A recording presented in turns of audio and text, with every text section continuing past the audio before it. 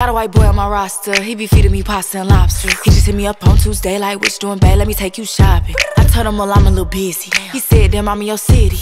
But anyway, it's okay, hope you have a good day. I'ma see you by day 50. Then I told him, you treat me so well. He said, cash out, Pazelle.